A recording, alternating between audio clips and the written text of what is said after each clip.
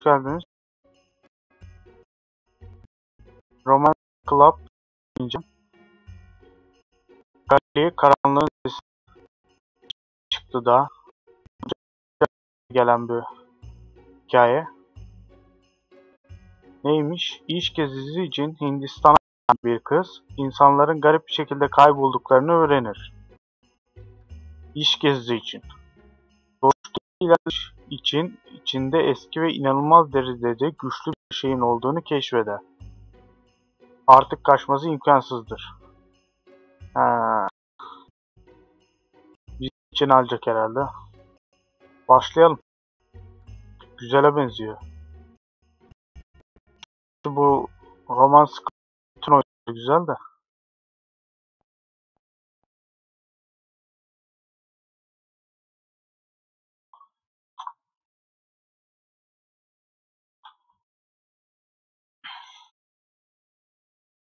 Kali karanlığın sesi.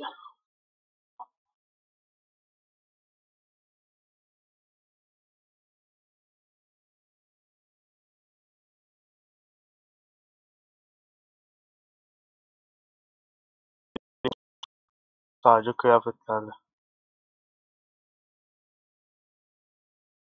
İş gezisi için gelmişiz. Hindistan'a. Bu oyunda tarihi ve olaylar yer alır. Fakat hikaye tamamen kurgusal olmakla beraber gerçekte olanlarla ilgili yansıtmamaktadır. Tamam. Yeni önce zamanda nasıl görüneceğini seçin.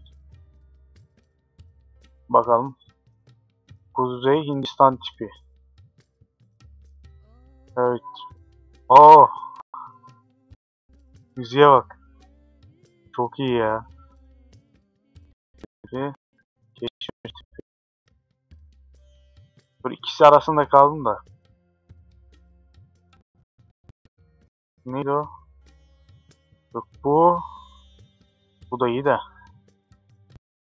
Şu mu? Ne fark var ki zaten buna? Aa.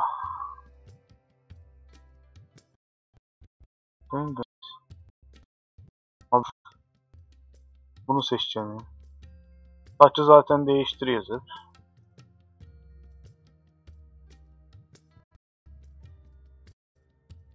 Saç şu olsun da. Hazır. Başlasın. Zaten değişecek onlar. Hikayenin içinde. Oo. Ortam fena ha. Sağ üst köşesindeki drop düğmesi olarak kıyafetini değiştirebilirsiniz. Tamam. Bölüm 1 Hadi bakalım başlıyoruz. Korkudan kendini kaybetmişti. Etraf uluyan seslerle doldu. Heykelin önünde eğiliyor, ayini gerçekleştirirken eski bir dile edip dans ediyorlardı. Meşalelerde ateş titreyerek nemli duvarları ürkütücü gölgeler düşürüyordu. Bu bir ölüm dansıydı. Kaçın yavaş, umutsuzluk dolu. Bırakın tanrım, neredeyim ben? Ha neden ben? Allah Allah. Bir gölge yavaş onu ulaştı. altından çılgın ve azımacısız bir çift göz parlıyordu. Evet. Bak dikkat arzuydu. Ses yapma. İnsan kendi ölümünü böyle mi karşılıyor? Onu kabul et. Şeref ve onurla. Birkaç çift el adamı yabancının ayaklarının dibine fırlattı. Yabancı, zavallı üzerine eğilip gülümsedi. Tebessüm korkular vardı. Çünkü adam başarıp acıklı acıklı ağlamaya başladı. Ancak o anda kaçınılmaz olduğunu anlamıştı. Yabancının elinde pürüzsüz metodu. Bıçağı tutan el havaya kalktı. Al onu, al onu. Altı damlalar devasa heykele ve etrafındaki duvarlara fışkırdı. Yüksek sesli çığlık duyuldu. Şarkı söyleyen ses korosu yükseldi. Gölgeler danslarına devam Sonrası ise karanlıktı. Ve bir kadın karşısında.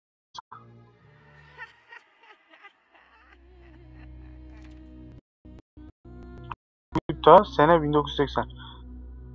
Ha, bu ileri tarihten mi? İleri mi şimdi? O geldi. Biz İskesinde Hindistan'a gelmiştik. Öyle diyordu. Bakalım. Birden gözlerimi açıp yatağımda zıpladım. Böyle endişe etrafa bakınıp olduğunu anlamaya çalıştım. Ağır bir darbe başım ağrıyordu. Hava sıcaktı. Güneş acımasızca yakıyor. Ama ben gölgeliğin altındaydım. Ulaşamıyordu. Etraf kalabalık ve gürültülüydü. Fakat bana bakmıyordu. Üzerime eğilen adam dikkatli bakan gözlerini bana dikti. Bu gölgeyi hatırlayınca korkudan ürperdim. Şimdi yapacağınız seçim hikayenin gidişatını değiştirecek. Bazı seçimler hikayeyi önemli ölçüde değiştirirken diğerleri büyük değişimlere yol açabiliyor. Bu yeri sıçra. Korkudan konuşma kabiliyetimi kaybettim ve öyle küreklerinden yanında oturduğum kasalara dayandım. Bir şey yapmadı ki. Adam şaşkınlıkla kaşlarını kaldırdı ama hala çok soğukkanlıydı. Yerimde donup yüzüne baktım. Şaşkın kaşları kaşlarını çattı, gözlerimiz buluştu. Bu adamın baş, başka bir insan olduğunu idrak edince rahat bir nefes aldım. Adamın yüzü sakin, soğuk gri gözlerinin bakışıyla ifadesizdi. Gri gözler. Bu adam Hindistanlı değil. Ama İngilizce konuşuyor. Evet. Sesim boğuk ve titrekti. Kalkmaya çalışırken boğazımı Evet. Adam bana yaklaşıp dikkatlice dirseğimi tuttu ve kalkmama yardım etti. Dikkat! Bayıldığınızda başınızı vurdunuz. Bayıldığımda mı? Evet hatırlamıyor musunuz? Bayıldığınızı gördüğümde tam arkanızda yürüyordum. Satıcı çok korkmuştu. Ancak sizin için mi yoksa bir şey satın alamayacağı için mi korkmuştu bilemeyeceğim artık.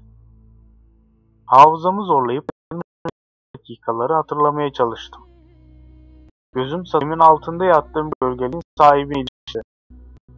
Yaşlı adam tüm bu süre boyunca bizi izliyor, gülümsüyordu. Güneş çarpması. Hanımefendi bir şey alacak mıydı? Benim konuşuyordu. en yaygın dilinde. Tezgahına baktım. Üzerinde yerleştirilmiş süs eşyalar güneş ışığında parlıyordu. Ne güzel taşlar. Aslında tam bu sebepten dolayı Kalküte pazarına uğramıştım. Adama yan yan bakıp ona dedim ki Arkamda yürüdüğünüzü söylemiştiniz. Evet, benim adım Killian Ligawood. Ben askeri ateşeyim. O ne? Grubunuza benziyorum. İstediğinizi bir an önce alın ve gidelim. Bizi çoktandır bekliyorlar. Yaşlı adam gülümsedi. Baygınlık sebebiyle tezgahından boş elle ayrılmamı istemediği çok açıktı. Seçiminizi yapın hanımefendi. Silgileri, keşif zümrütleri, dublamaya neden yakutlar, ısıtılmamış doğal. Şunu bir açalım da bir şey alacaksak. Kılleyen Hintçe anlamasa da satıcının ses tonunu duyunca yüzünü buruşturdu. Yalaka. Amir yalaka değil. Yaşlı birden İngilizceye geçti. Amir sadece doğal taşları olan kalit satar. Tebessümümü bastırıp seçimime odaklandım. Safir kolye. Zümrüt kolye. Yağ kolye.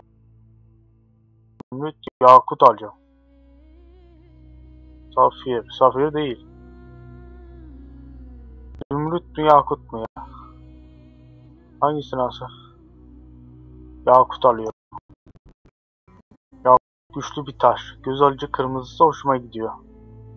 Hanımefendi haklı. Yakutların yüksek bir enerjisi vardır. Sıra dışı insanlara yakışır. Bu kadar güzel bir kıza her taş yakışır. Eh. Amireye teşekkür edip üstünü verdim. Killian'ı takip ettim. Sonra biz iş kes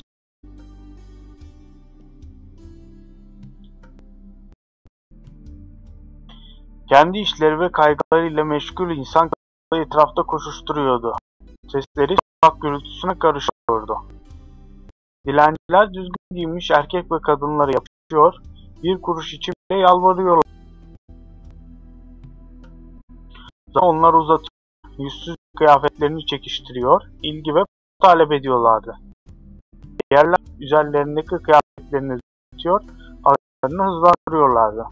Dilenci gözleri parladı.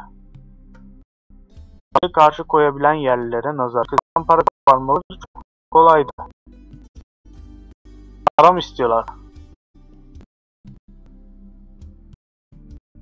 Adımlarımı yavaşlattım. Etrafımı saran dilenci kalabalığını nasıl aşacağımı bilemedim. Ben daha bir şey yapmadan yardım yetişti. Bu bizim korumamız mı nedir? Killian beni dikkatlice dirsekti ve çağrılar içinde olan çocukları benden uzaklaştırdı. Denli iri ve pek arkadaş canlısı modunda olmayan bir adama bulaşamayacak kadar akıllıydılar. Şeye zor yetişiyordum. Geniş omuzları ve sert kolları vardı. Onunlayken şüphesiz ki güvende. Kelleyen kusursuz şekilde dik tuttuğu sırtıyla yürüyor. Direkt ön hızlı hareketleri asker olduğunu açıkça belli ediyordu. Görevimiz için son derece uygun biriydi. Siz de buraya kayıp İngiliz diplomatı yüzünden mi geldiniz? Aynen sizin gibi. Ben bu olayın detaylarına henüz hakim değilim. Anlatır mısınız? Birazdan her şeyi öğreneceğiz. Ne kadar konuşkan biri. Yine de bir anda Londra'dan getirildim. Düşünme fırsatım bile olmadı. Ki İngiltere'de küçük kardeşim tek başına kaldı. Ha, Hindistan'a gelecek işlerimi yarıda bıraktım. Adamın derin bir nefes aldığını duydum.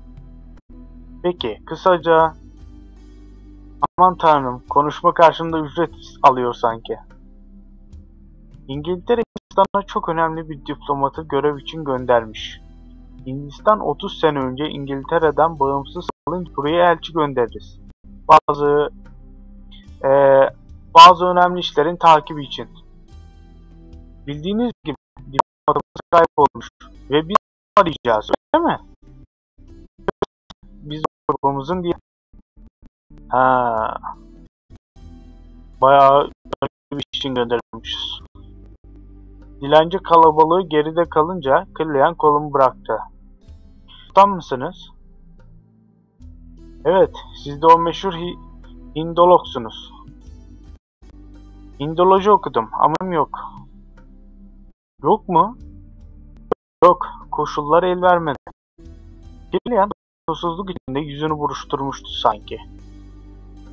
Bu önemli. Koşullar, tecrübesiz bir Hindolog her şeyi mahvedebilir. Bazı seçimler bağımsızlık veya sadakat ölçüsünü yükseltir. Vallahi ne benim için şeyse onu seçeceğim ben. Çok yükselsin diye şey yapmayacağım. Bakacağım bir. Kahramanımız bağımsız olursa kendine odaklanır ve kimseye ayak uydurmaz.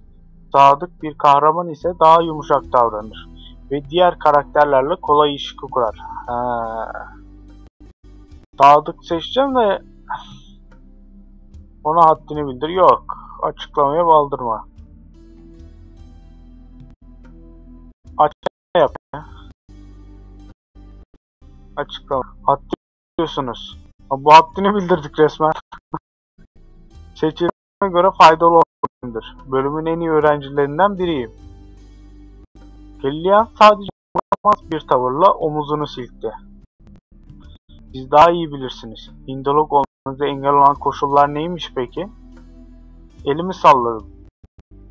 Aile meselesi. Birimizin ailemize ait dükkan işletmesi lazımdı. Bunu üstlenecek tek kişi ben. Başka seçeneğim yoktu. Dükkan mı? Hindistan'dan gelen ürünleri satıyorduk. Burada iyi bir talep var. Kaptanın yüz hatlarını gördük.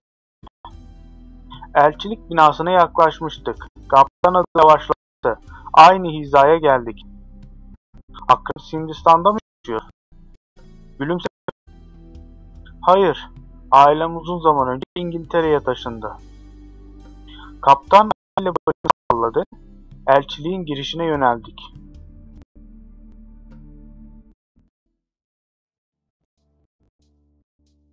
Toplantı salonuna girdik. Bizi bekliyorlardı.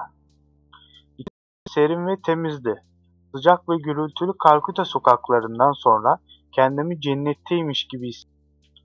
Ortada koyu renk meşe ağacından yapılmış uzun bir masa. Üstündeki belgelerin üzerine iki kişi eğilmiş. Biri yaşlı, diğeri genç bir kızdı. Bize döndüklerinde gördüm. Kaptan, geliniz bile. Adam Killian Langwood'un yanına yaklaştı ve ona genişçe gülümseyerek elini uzattı. Bana ise bakmadı bile. Killian adamın elini sıktı. Merhaba Bay Rose. Getirdim ben de. Ancak o an Bay Rose bana bakmaya tenezzül etti. Ah evet ya, siz buradaydınız. Bak ya kolaya. Amalakyan hizmetinizdeyim. Ona zorla gülümsedim. İçimde kötü bir his var. Yarı Hintli olup Hindolog olmak kolay mı? Sana tepki verme. Valla hiç sevmedim bu adamı ama. Hadi bir şans. Çok kolay. Köklerime yakın olmaktan mutluyum. İyi ilişki kurmaya çalışıyoruz. Ben de onu uğraşıyorum açıkçası.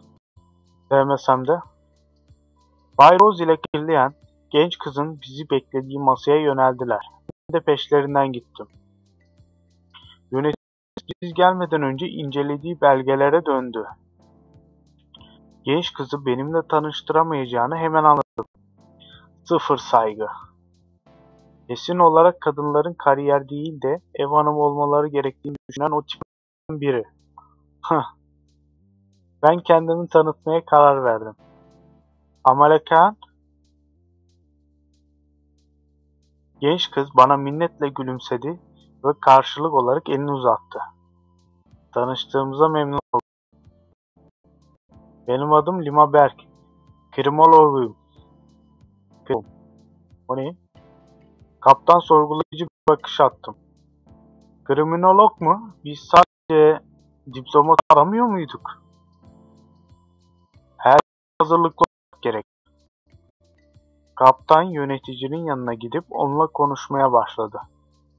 Bana verdiği cevap hoşuma gitmedi. Her şeye mi? O da ne demek şimdi? Ayrıntıları herkese paylaşalım. Hadi. Grubumuz küçüktür. Gürültü çıksın istemiyoruz. Kesinlikle kaptan. Bu yüzden lüzumsuz detaylara girmeyeceğim. Hepimiz toplanıp dikkatlice dinlemeye başladık. Kaptan bana gereken tüm verileri içeren belgeyi uzattı. Al. Burada diplomat ilgili son veriler mevcut. Geldiği, hangi otelde geldiği, nereye gittiği, onu kimin gördüğü. Hepsini dikkatlice inceleyin. Bildiğiniz gibi nihai amacımız İngiliz diplomatı bulmak. Buraya iki hafta önce gelmiş. Kendisiyle kurulan türlü iletişim en son beş gün önce k***ye uğramış. Kalkuta'ya geliş amacı neydi?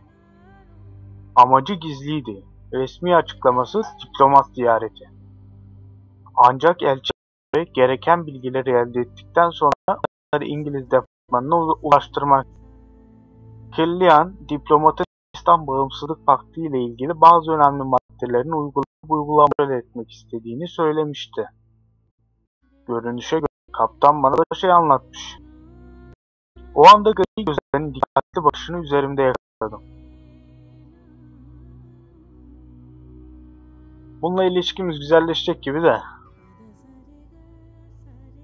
Kelliyan'la. Dudaklarımı büzdüm ve başka tarafa baktım. Ağzımı açmam. Rahat ol. Ziyaretin amacını bile bilmiyorsak ortadan kayboluşu nasıl araştıracağız? Neler oluyor anlamıyorum. İşimi bırakmak zorunda kalıyor. Önemli bir iş için Hindistan'a gönderiliyorum. Ama tek bir şey öğrenemiyorum. Detaylara ihtiyacınız yok. Kriminoloğa kibirli bir bakış attı. Bundan hoşlanmadım ben. Açık konuşacak bakış açımı ifade etmek istiyorum. Bu kapalı değil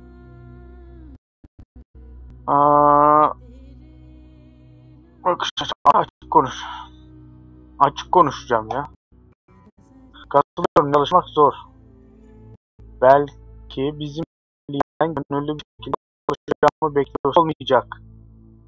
Bir anda evden çıkarılıp olduğunu anlamadığı olayları araştırmak için yabancı bir ülkeye gönderilmek hiç de hoş bir şey değil. Sessizce beni dinledi. Lima'ya katılıyorum. Bu şekilde davranmaya devam ederseniz çok da çaba sarf edeceğimizi beklemeyin. Yönetici sıktığı dişlerinin arasından tıs. Her neyse bayan alacağınız tek şey bir belge. Artık biraz gerildim. Bilgi yönetim bizden bir şeyler saklıyor. Grupta birbirinden tuhaf. Ve benim de her başarılı bir şekilde işbirliği gerekecek. Grup üyelerine bak. Senin mal olduğun ortada zaten. Kendini kadınlardan üstün gören diktatör.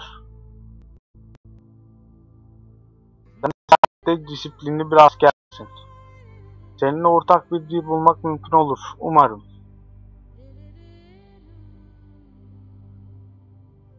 Senin ne işin olabilir ki acaba? Kız kriminolog. Tek kadın. Rose gibi olan erkeklerle. Ben inanılmaz birisi. Bunları düşünürken kızı inceledim. Lima bakışlarımı fark etti ve karşı olarak dostça arkadaşınızı baş Bay Rose masadaki belgeleri havalı bir araya topladı ve herkese seslendi. Gidebilir ortama alışmanız ve gerekiyor. Belgeleri inceleyin. Yarın başlıyoruz. Adam Killian'a baktı. Tam Lingwood'un hanımefendilere eşlik edin. Bu şekilde güvenli olacaktır. Grubumuzun yöneticisi kapıyı arasından çalından dışarı çıktı.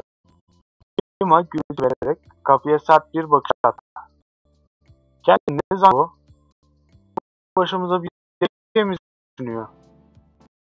Konu bu değil. Hindistan'da yaptığı kızlarına bir saat etmeleri güvenlidir. Özellikle fakir semtlere. Özellikle alt kaslardan olan insanların kirli insanlar kas sistemi geleceğin ailenin olduğu kasta bağlı. Yüksek kaslar birçok şeye sahip olabilir. Alt kasta hiçbir şey yoktur. Saçma. Neden bu tür yaşamayı kabul ediyorlar? Yüzyıl eski bir sistem. Kas kuralları bu insanlar için bir ilkellik ve alt kaslardan olan insanlar tehlikeli miymiş? Her zaman değil. Ama yerlerin bir Bengalce deyişi vardır. Dudaklarda bal, kalbinde zehir. Bu yerlerin sana söylediği her şeye inanman gerektiği anlamı. Kendi kendine çok farklı şeyler düşünüyor olabilirler. Lima duraksadı. Bir şeyler düşündü. Sonra omuz silkti. Bana ne? Hintçe konuşmuyorum ki. Biz Hindistan'ın Batı Bengal bölgesinde bulunuyoruz. Burada benimle konuşamadığım birçok farklı lehçe yaygın.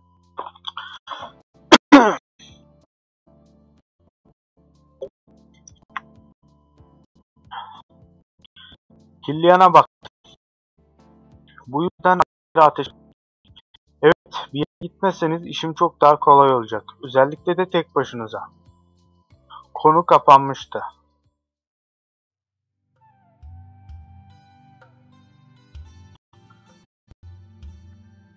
Lima'yı otele bıraktıktan sonra beni yerlere kadar taksiyle götürdü. Yönetimin bizim için ayırdığı küçük otelde şaşırmadım. Muhtemelen rezervasyonu son anda yapmak zorunda kaldı. O odalara Bay Rose, Lima ve Clea yerleşti.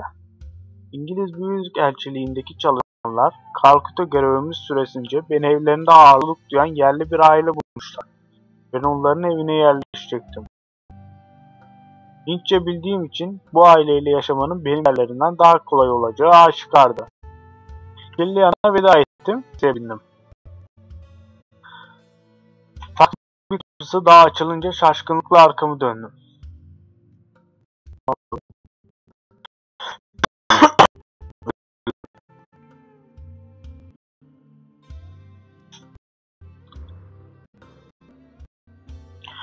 Kapıya kadar isteyeceğim.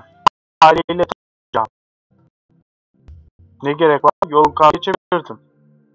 Hindistan'ın güvenli olmadığını söylememiş miydin? Burası güvenli bir bölge. Kapıyı da anlamda 15 metre var. Kaşlarını çattığını gördüm. Sert Bakan, benim işim sizi güvende tutmak. İşimi yapmama engel olmayın. Bazı seçimler pırlanta karşılığında satın alınabilir. Tamam. Kabul et. Evet et. et. Kabul etmek de. Ben bunu işi düzeltmek istiyor muyum? Hayır. Reddetmeyeceğim. Sessizce yürüyeceğim ya.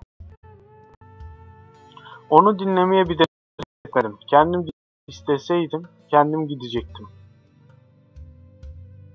Ama la şok oldu. Doğruca eve yürüdüm. Kaptan geçti. Ne saygı? Kendisi yapıyor saygısızlığı size. Eli tutmasını bekliyordum ama o bana dokunmadı bile. İşte seni istemediğinizde çıkacağım. Benim yerime Kaptan Wood son derece sinirliydi ve bu yüzden özellikle kibar davranıyordu. Bayan Kaan herhangi bir konuda hoşnutsuz kaldığı sürece her zaman yönetime şikayette bulunabilir. Ama öyle bir şey olacak dediklerimi yapmak zorundasınız. Kapıyı açacağımızı bölmüş oldu. Klasik insan. Namaste Bayan Kaan. Tabi ki arkasındaki arkasındaki yer. bir erkekle bir kadın. Evin sahipleri. İyi insanlara benziyorlar şöyle ama. Onları selamlayarak kafasını sallayan Kaptan Lingo da baktılar önce. Kaptan da arkasını dönüp taksiye yöneldi. Bu şekilde bana sahip çıktığını ve beni koruduğunu demişti galiba. Sahipleri hafif bir şaşkınlık içinde birbirlerine baktılar. Kaptanın arkasından baktım. Ardından bir kadın sesi duydum. Misafirlerimizi kapı arkasında bekletiyorsun. Kızın adı mı sana? Kadın bana geniş geniş gülümsedi.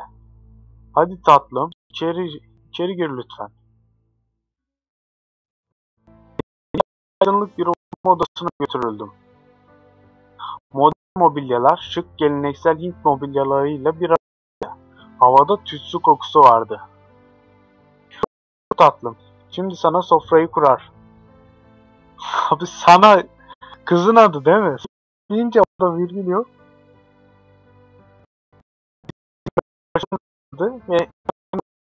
ve gitti. Güzel ve pahalı bir kumaşla kaplı kanepeye oturduk. Benim adım Aryan ve bu karım Pirayanka. Onur duyuyoruz. Evet, gelmeni gerçekten dört gözle bekledik. Evinmiş gibi hisset. Misafirleriniz için çok teşekkür ediyoruz. Daha önce Hayır, bu benim Vatan toprağına ayak bastığın için çok mutlu olmalısın. Şimdi yapacağın seçim karakterlerin tutumunu etkileyecek. Mecbur olduğum için geldim. Öyle demeyelim. Burada olmaktan mutluyum. Uzun zamandır hayal ediyordum. Köklerim buradan geliyor. Ailem bir zamanlar burada. Burayı sevdiğimden eminim. Tiplerin yüzlerinde tebessümler belirdi. Kanka başını salladı. Hindistan senin ikinci evin olacaktır. Eminim. Oturma odasına hizmetçi girdi. Sana. Ben de bana mı sana diyordu ya. Ya öğle yemeğini ye. Sonra yapacağın seçersin. Oda bile seçeceğiz ha? Ne iyi insanlarmış ya. Oda bile seçtiriyordu. Öğle yemeğinde Bay Aryan müsaadesini isteyip çalışma odasına çekildi. Ve sana beni üst kata çıkarıp üç oda arasından seçim yapmamı istediler. O zaman şunu açalım. Evimiz büyük ama çocuğumuz yok. Herhangi bir oda seç. Hepsi boş. Bana tek tek her odayı gösterdiler. Hepsi sırayla arka arkaya geliyordu.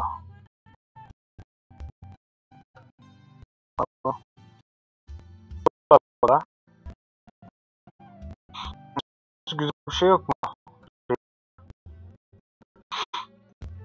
Pencere ki. kalitesi var. Bu ne? Bu çok büyük. Bu diğerlerinden büyük. Dağınık bu ya? Mütevazı oda, şık oda, lüks. Değişmişken lüks seçelim.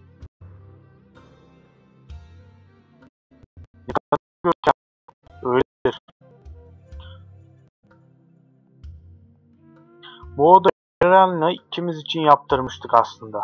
Ama aile astroloğumuz bu konumun bizim için pek de uygun olmadığını söyledi. Bu yüzden bu güzellik şimdi başıboş kalmış. Beğendiysen buraya yerleş. Olur mu? Misafirlerimize en iyi şekilde ağırlamak mutluluk duyarız. Bazı seçimler saygı yükseltir. Bu puanlar yükseldikçe etrafındakiler sana daha fazla saygı duymaya ve düşüncelerine değer vermeye başlar. O halde bu odada kalacağım. Sana misafirleri yerleştirmekte, yerleştirmekte yardım et.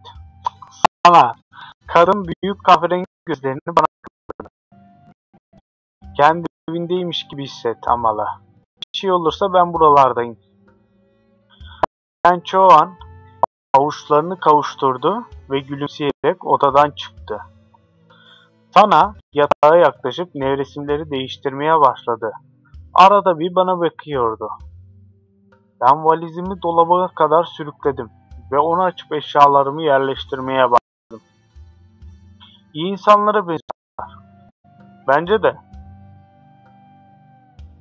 Onların evinde kaldığım için çok şanslıyım. Anlaşılan yabancı birini ağırlığı. Ne kadar zengin olduklarıyla hava atmak bu kasta özgü bir şey. Öyle bir şey hissetmedim ben ya. Acaba hangi kastan geliyorlar? Yüksek olduğu aşikar hangisi? Bu arada bana arayan Çağunan'ın ne iş yaptığını sormadım. Neyse bu işi sonraya bırakayım. Bayan Kaan tedbirli olmalı. Ne oldu? Sessizliği bir anda bozan hizmetçinin sesi beni neredeyse korkutuyordu. Kendi düşüncelerimi bırakıp kıza döndüm. Ne oldu ki? Bayan Kaan, Kalküta'ya çok talihsiz bir zamanda gelmiş. Son derece tedbirli olmanız lazım. Kızı da gözleri yerinde dondu. Birkaç saniye sonra kendinden daha emin bir tavırla ekledi. Bir erkeğin size eşlik etmesi iyidir. Böylesi daha iyi olacak. Ama tetikte olun. O adam varken bile tehlike sürüyor. Şimdi eşyalarımı bir tarafa bıraktım ve kıza doğru birkaç adım attım. Ne diyorsun? Sana, Kalküta'da neler oluyor? Genç kız parmaklarıyla yorgan kenarını çekiştiriyor, tereddüt içinde gelip gidiyordu. Kalküta'da kötü şeyler oluyor. Bir şey geliyor. Uzak durmanız gereken bir şey. Mümkün olduğu kadar uzak. Lütfen daha net konuş. Hiçbir şey anlamıyorum. Durca puja, kali puja, üst kaslardaki insanların kaybolması. Kalbimin ne kadar rahatlığını hissettim. Puja, Hint bayramlarına mı bunlar? Evet, onlara hazırlık yapıyorlar. Sinirli sinirli kıkırdadım. Durca Puja'ya çok az kaldı. O gün grubunuzdan ayrı kalmayın. Size kötülük yapmak isteyen insanlar çıkabilir. Üst kastan olan bir insana kim saldırmaya cesaret eder ki? Kasları zerre umursamayan insanlar var.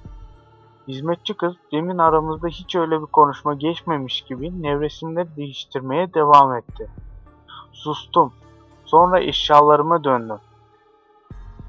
Sana çok garip davranıyor. Onu daha fazla zorlamaya lüzum yok ama ne de olsa Kaptan Linkbot hep yanımda olacak.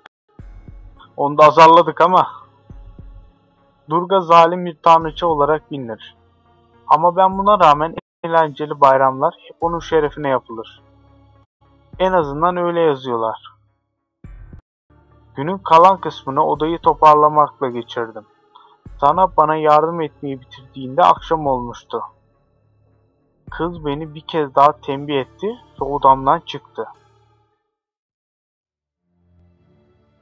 O sırada derin derin uyuyordum. Ama uykum hafiften dağılmaya başladı. Uzanmaya devam edip tekrar uykuya dalacağımı ummuştum. Birkaç dakika boyunca yatağımda dönüp durdum. Uyumaya çalıştım. Ama bir şey bana engel oluyordu. Rahatsız edici bir hissiyatla uykumu kaçırıyordu. Birisinin bana bakıyor hissiyatı. Mutlak bir karanlıkta gözlerimi açtım. İçeri sadece zayıf bir sokak ışığı sızıyordu. Odanın mobilyaları bile zar zor görülüyordu. Dirseklerimin üzerinde yükselip uykulu uykulu etrafa bakındım. Gözlerim henüz karanlığa alışamamıştı. O yüzden sadece öylece kirpiklerimi kıpırıştırıyor, hiçbir şey göremiyordum. Ama birinin bana bakıyor düşüncesi aklımdan çıkmıyordu. Odamı tümüyle görene kadar gözlerimi kapatmak ve geriye yatmak istemediğimi anladım. Gözlerimin karanlığa alışması bir dakika kadar sürdü. O zaman odamı inceledim ve yalnız olduğumu gördüm. Kendi kendimi korkutuyorum. Salak gibi burada olmayan şeyleri görmeye çalışıyorum. En iyisi iş öncesi uykumu alayım ben. Kendi aptallığıma gülesim geldi. Ama gülmedim. Çünkü bir ışırtı duydum. Ah. Uzun bir eteğin yerde sürünme sesi gibiydi. Dondum kaldım. Kulaklarımı sessizlik tıkadı ve o sessizlikte bu ışırı daha net duyuluyordu. Evet. Karanlık köşelere baktım. Hışırtı sesini bastırmaya çalışarak derin derin nefes almaya başladım. Bu artık komik değil ama uyku öncesi bir sürü saçmalık dinleyip durdun. Şimdi de tırsıyorsun işte. Sessizlikte sesim resmen çınladı. Bir ara hışırtı bana yaklaşıyor gibi geldi.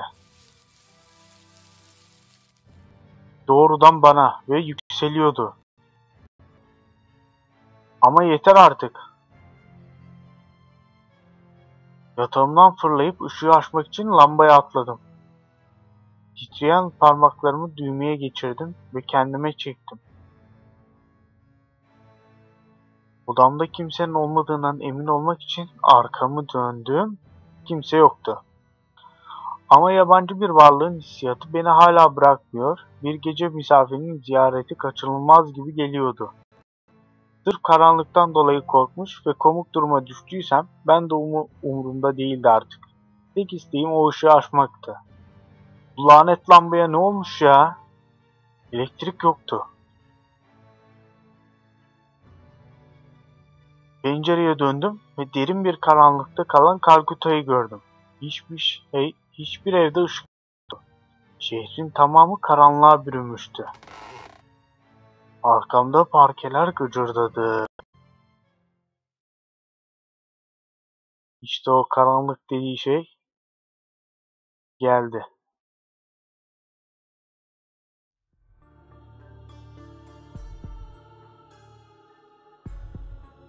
Korktum ha.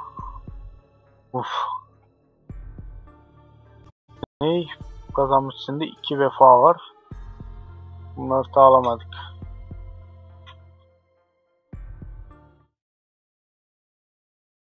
Uf.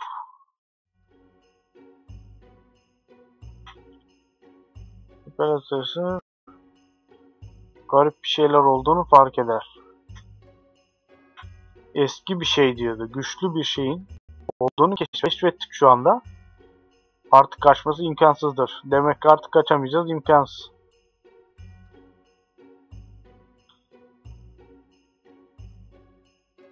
Şu da var da. Neyse bu dursun bakalım. Şunu bitirelim de. Biraz ara vereceğim. Yarım saat sonra devam edeceğiz arkadaşlar.